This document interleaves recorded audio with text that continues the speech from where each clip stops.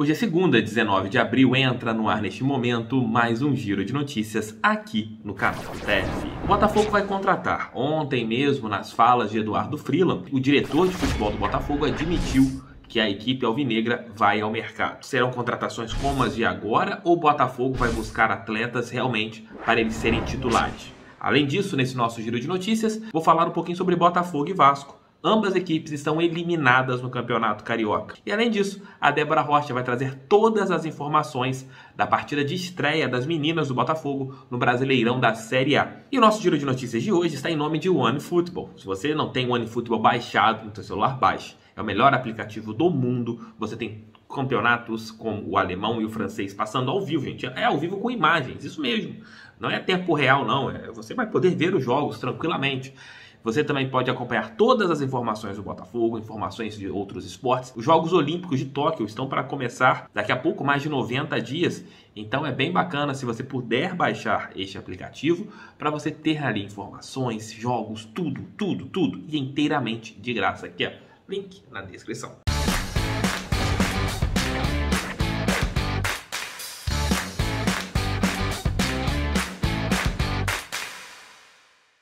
Fortaleça aqui o canal do Teto com seu like, com a sua inscrição, é muito importante, olha o trem passando aqui, é muito importante a sua inscrição para o canal do TF crescer cada dia mais. E eu abro o nosso giro de notícias com as informações da Débora Rocha sobre a estreia das meninas no Campeonato Brasileiro da Série A. O resultado não foi de vitória, foi um empate no estádio Newton Santos, mas a Débora vai trazer todos os detalhes sobre a partida que aconteceu ontem. Fale aí, Débora. Fala galera, tudo bem com vocês? Botafogo estreou no Brasileirão Série A1, empatando em 0 a 0 com Bahia. O jogo foi bem equilibrado. As gloriosas elas tiveram mais chances no segundo tempo, mas não conseguiram ser eficientes ali na finalização.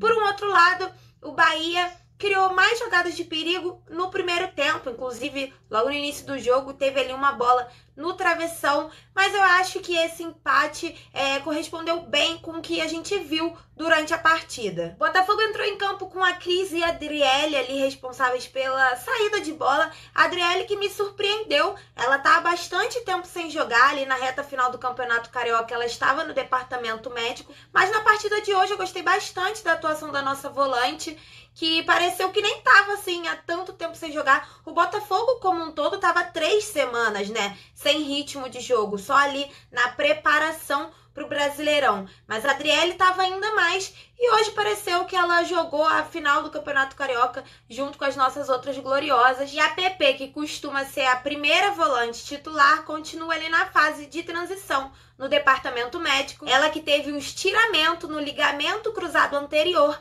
grau 1. Inclusive, eu já comentei por aqui que eu acreditava que a recuperação dela seria mais breve, que ela estaria aí à disposição já no início do Campeonato Brasileiro principalmente pelo fato de ter sido adiado, mas ela segue no departamento médico, agora em fase de transição. Ali mais pra frente, o técnico Glaucio optou por ir com Brenda e Kellen mais abertas e Carol Lins de centroavante. O Botafogo ele tem muita característica de trabalhar a bola de pé em pé para chegar lá na frente. É assim que normalmente as gloriosas conseguem fazer os jogos renderem e o Bahia dificultou muito isso hoje com a marcação mais alta e elas estavam marcando muito bem. Com isso, o Botafogo teve que arriscar mais nas bolas longas, tentando achar a Carol e muitas vezes não conseguiu ser eficiente. Acho que muito pelo fato também da Carol ser uma jogadora mais lenta, ela faz ali um excelente pivô, mas quando é para girar ou quando é para achar ela na velocidade, ela não consegue acompanhar. Acho que a Juliana, por exemplo, faz isso melhor.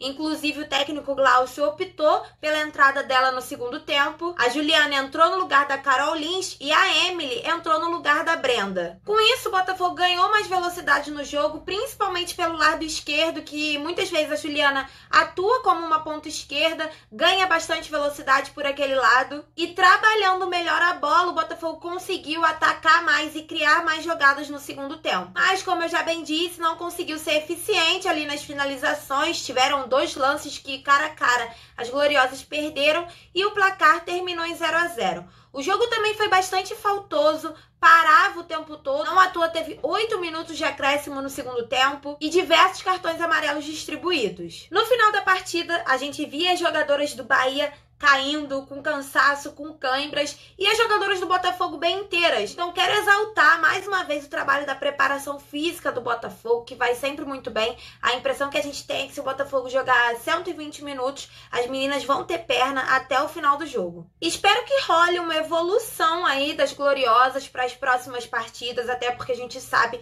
que o nível do Brasileirão A1 é um pouco mais elevado. Inclusive, o nosso próximo adversário é o Real Brasília, que também foi um dos times que conquistou aí o acesso para um na última temporada. Era do próprio grupo do Botafogo na fase inicial da A2. O Real Brasília que teve em uma das suas contratações a Gadu, que era atacante do Bahia, foi artilheira não só do Bahia, mas do campeonato A2 na última temporada, com 11 gols. Falando de Real Brasília, quero aproveitar e fazer o convite para vocês que nesta terça-feira, às 8 horas da noite, eu receberei a Maíra Nunes, especializada em futebol feminino do Correio Brasiliense e do blog Elas no Ataque. Nós vamos fazer aí um pré-jogo de Botafogo Real Brasília, comentar sobre as nossas expectativas. Botafogo enfrenta o Real Brasília no dia 21, na quarta-feira, às 3 horas da tarde, e um dia antes a gente espera vocês para esse bate-papo. Quero aproveitar para retificar uma informação que foi dada durante a transmissão do jogo. O pessoal por lá falou que a artilheira do Campeonato Carioca das Gloriosas foi a Carol Lins e na verdade foi a Brenda. A Brenda fez nove gols em nove jogos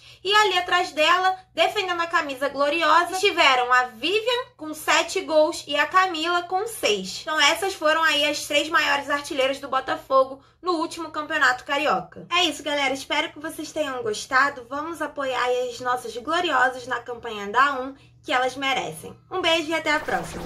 Botafogo e Vasco estão eliminados no Campeonato Carioca. Botafogo está na oitava posição e o Cruz Maltino na sexta. A diferença entre ambos é que nas primeiras rodadas da competição estadual, a equipe de São Januário jogou com o time reserva. Já o Botafogo, desde a primeira rodada, vem atuando com o que tem de melhor, né? Se é que a gente pode falar isso. O Vasco teve alguns destaques na competição, por exemplo, uma vitória em cima do time titular do Flamengo na última rodada do estadual, porém, com a sua equipe principal, tropeçou contra pequenos. Isso é bom a gente lembrar. O Cruz Maltino tem alguns jogadores com nível até mesmo de primeira divisão, como Zé, Hernando, trouxe o Morato, tem alguns bons jogadores como Cano, que é um excelente centroavante, e o Botafogo com uma equipe com jogadores até certo ponto mais discretos no cenário nacional. Cruz Maltino parece ter uma cara, o Botafogo ainda não. O Vasco tem um problema visível na defesa. O Cruz Maltino sofre gols em todos os jogos, mas seu ataque tem funcionado.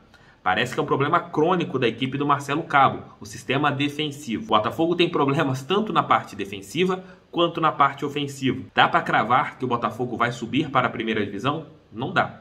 Dá para cravar que o Vasco vai subir para a primeira divisão? Também não dá para cravar. Os dois times agora terão tempo para trabalhar e o Botafogo precisa muito mais do que o Vasco, já que o trabalho do Marcelo Chamusca é muito contestado. Marcelo Cabo, seu xará, não está tão contestado e os torcedores do Vasco gostam muito do novo treinador. Outro tema que eu vou falar agora pode fazer o Alvinegro se igualar ao Vasco. São as próximas contratações. E agora com contratações assertivas. O Alvinegro tem até o momento 12 contratações mais a volta do Rickson. Então são 13 novos atletas diferentes da última temporada. Se o Glorioso tiver um time da maneira que está, jogando da maneira que está, a volta para a primeira divisão será bem mais complicada. Eduardo Freeland, em sua fala ontem na Botafogo TV, ele deixou bem claro que o Botafogo tem que se reforçar.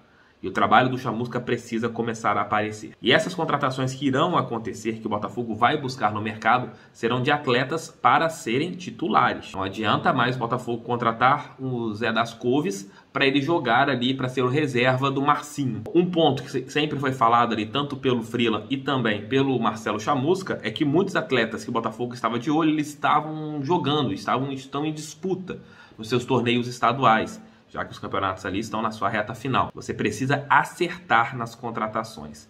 Não adianta mais você apenas ir no mercado e contratar por contratar. Grana não tem. Isso todo mundo sabe. O próprio Freeland disse isso ontem. Se o Glorioso conseguir fazer contratações assertivas dentro de um valor baixo, ok, excelente. Mas agora não adianta mais você contratar jogadores apenas para eles incharem o elenco. Inchar o elenco não adianta.